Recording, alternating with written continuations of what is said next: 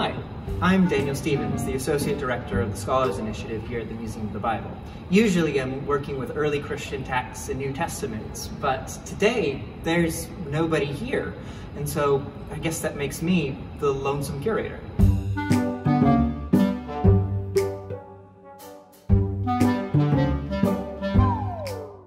So today, the object that we have is called Codex Climaci Rescriptus. This is just one folio of it. It's it's a whole book, but it's just one one bit that shows you some of the unique qualities of this work. Now, the name itself tells you several things about it. First, it's a codex. That is, its form is what we would call nowadays a book with pages folded together and stitched. It's the second word, Climaci, is a little bit less obvious. This is from the person whose works are contained in this text. John, the, the abbot of the St. Catherine's Monastery in the Sinai, often is known as John Climacus. He's called this because his major work that he wrote is called the Ladder, or the Ladder of Divine Ascent. Ladder, in Greek, klimax, and so he is called John Climacus, John of the Ladder. Then move that Greek name into Latin, and you get this Climaci, so of Climacus.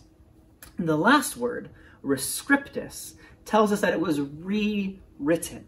This is a type of text called a palimpsest, which means the sheets used in it, these parchment pages that have writing on them, initially had something else written.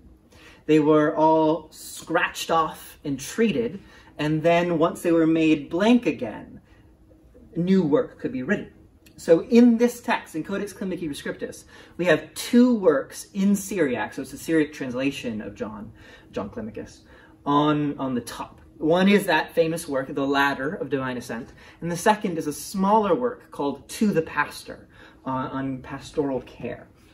These are in Syriac, uh, a version of Aramaic.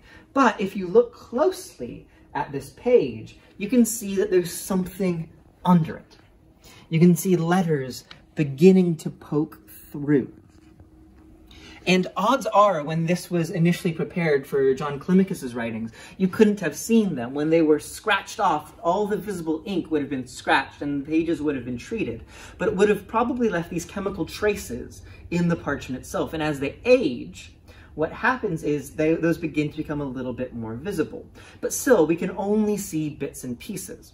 Here at the Museum of the Bible, we currently have two research projects on this manuscript. One of them is making an edited text of the Syriac uh, works of John Climacus. So just working on the top, working on the layer that is clearly seen, and trying to make an addition for scholars to use of that text. The other work is aimed at trying to figure out what those bottom texts say.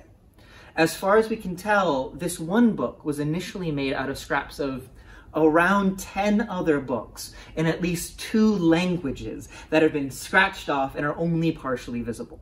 So the way that we're trying to get to that text is through a technology called multispectral imaging. White light has a full spectra, or spectrum rather, of visible light within it, plus, plus a couple other wavelengths. What we do in multispectral imaging is we shine one color at a time, one specific range of wavelengths at a time, from red all the way to violet, getting images of the color absorbance and reflection of the text. We also take pictures in infrared and in ultraviolet. Then, through computer software and technicians, we begin playing with composite images to bring out the bottom text. And through this technology, we can begin to make these hidden letters, these letters that have been covered over for centuries, begin to shine.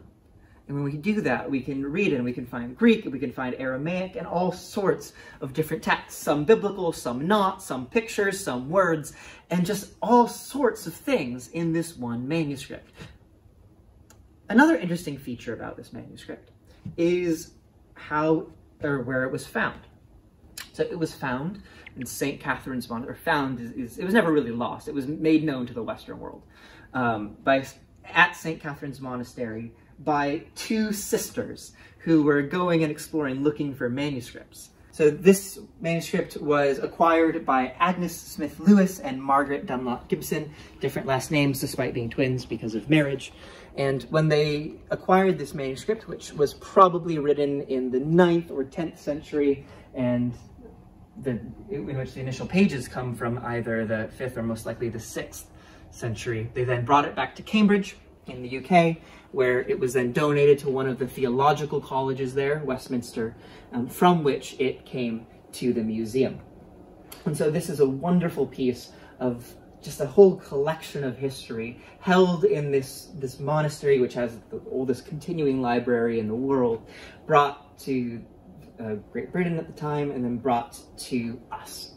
And hopefully, once the museum is open again, you could come and see it, and you can also go and look at some of the pages of this on our website.